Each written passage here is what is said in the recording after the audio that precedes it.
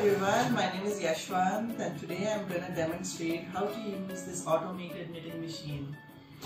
I use this fancy little joystick I've included as part of this knitting machine motor and as you can see, depending on which direction I push this joystick, the carriage moves in that direction. So now I'm going to show you how do you cast on and how do you start using uh, this knitting machine to make a fabric uh, like this. So you can actually make all of these knitted garments using this knitting machine. Ah! well, that was unintentional. Uh, so to begin, let's kind of get the carriage to one side. So for the purposes of this demonstration, I'm going to pull out 10 or I think this is 20 needles on each side of 0 into the B position.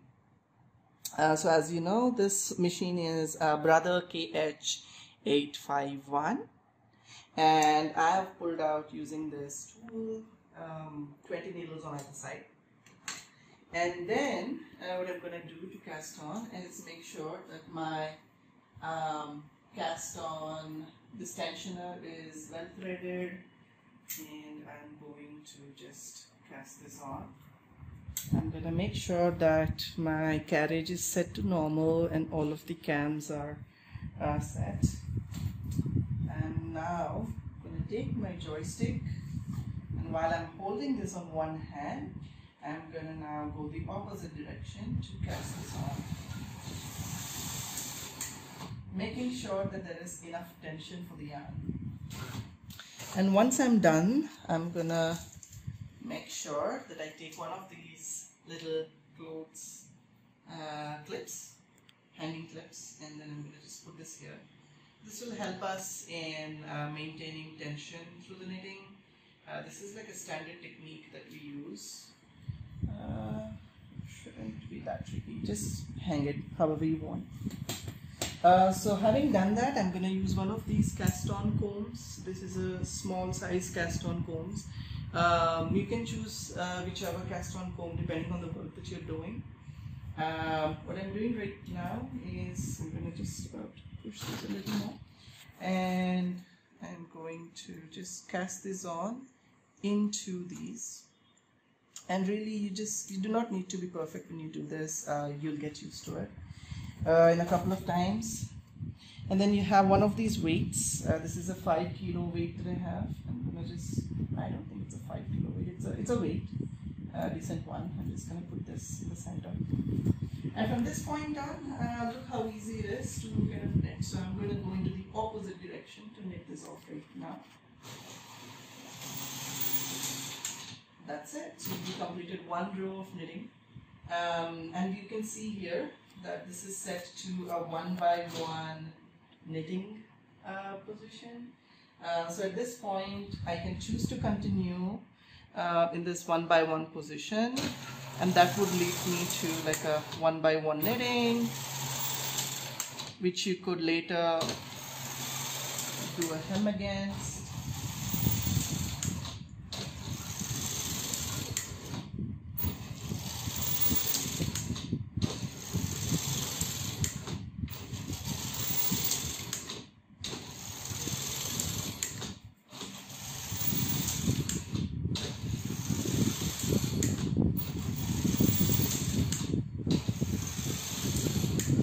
Now notice that if I try to move the carriage with my hand, it would simply not allow.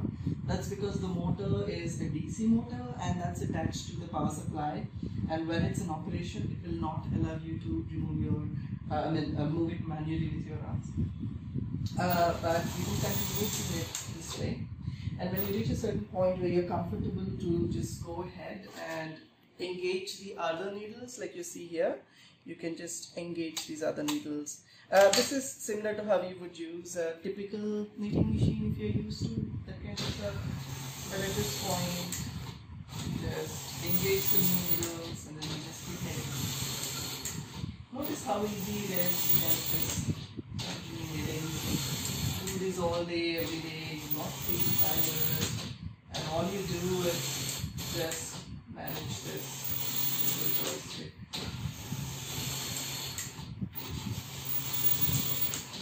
Ah.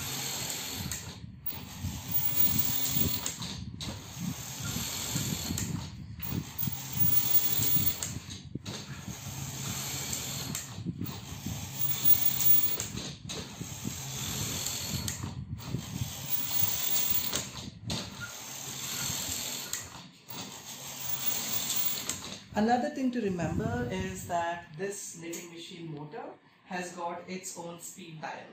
So if you are looking for, uh, let's say, a slower speed or for higher speed, you could just set the speed right from here. Um, so if you can look at this closer, you will see that uh, the knitting machine motor has got um, this dial with which you can control the speed. So this is set to the highest setting right now. And then um, over here if you see I'm now going to set it to a slightly slower speed. So it was here and now I'm going to set it to like a little bit of a medium speed. And let's see how that performs now.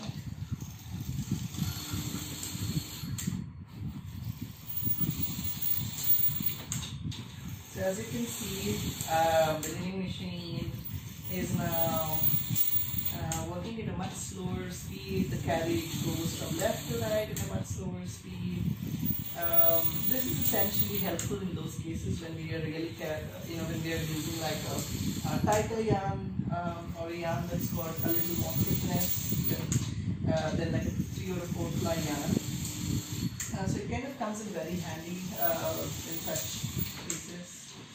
Um, and I'm also gonna take a moment and show you what the lowest speed looks like.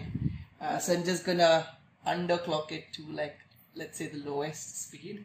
uh, this is gonna be interesting to watch because you see that it is super slow.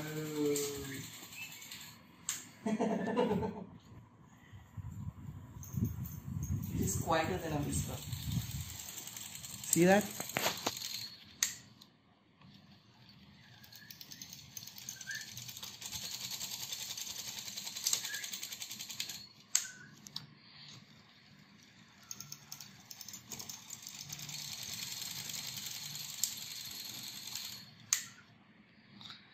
All right. I'm going to set this back to the setting it was in so that I'm not taking surprises when the next time I look it. Awesome. So I can keep doing this all day. I can keep sipping my chai and I can net sweaters all day by just turning my finger, my thumb from left to right. Yeah. the simple joy of.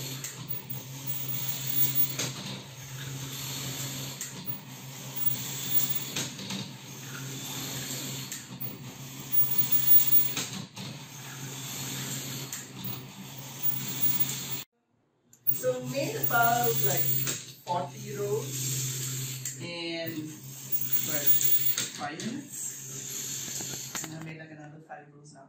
Uh, so now I'm going to demonstrate how do you cast off this work. So let's say I'm done with this, this much amount of fabric, which which is easily the amount that you would require for something like a sampler. So I'm going to just remove the weight from here. I'm going to put that away. And when I'm done with that, I'm going to need one of these uh, transfer tools. It's a one by two transfer tool. So you get lots of these um, along with your machine. Typically, when you buy them, and then I'm gonna just get the needle out of its way. I'm gonna put this joystick away. Uh, so what I'm gonna do next is I'm gonna use one of the prongs of this needle and then transfer this needle over to this. So it's a, it's a process uh, that you will learn. It's one of the essential skills of, of knitting, ah, using a knitting machine. Uh, so what you can do is you can just go into the needle and then transfer it over to this one. See that? And then hold the fabric a little taut. So, and you do it as many times as you have stitches on your machine that are active. So I'm gonna continue doing this process and I'll meet you when we are done.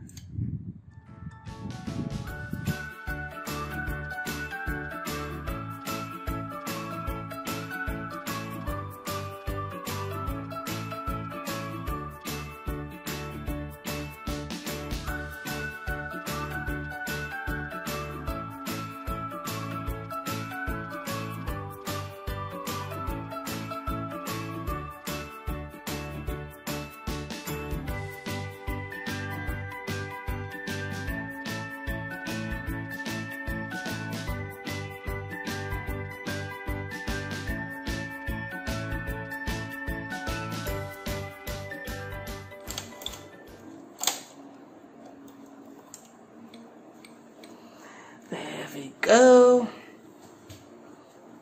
Now when we reach the end stitch, so the last stitch that we have got to cast off, pull a little slack. So you can just pull it a little. You can just pull a little slack like that, like so. And then snip this end off. Notice what happens to the tension mast when I do this. It just pops like that. and we just remove this. So at this point what you can do is uh, put this loose end into this and then just pull it like that, like so. As you can see it creates a little knot and if you see this, come closer, if you see this, it creates a nice little cast off to your work. Um, so that kind of helps you if you're kind of casting off uh, the edge of a work like the seam of a dress or seam of a sweater, it kind of looks lovely to cast off. Uh, there are so many other ways to cast off. Uh, usually people pull all of those um, all of those stitches into a piece of thread and then they cast off like that but I prefer doing it this way.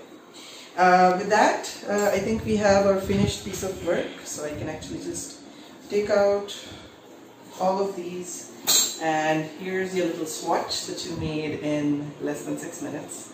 Um, so this is the amount of uh, time it took me to make this, it took me like 6 minutes. Uh, but I hope you liked the video uh, of me showing you my brand new knitting machine motor, uh, or as I like to call it, the automated knitting machine. Um, please do like, share and subscribe. Um, and thank you so much for watching this video. See you again next time. Bye bye.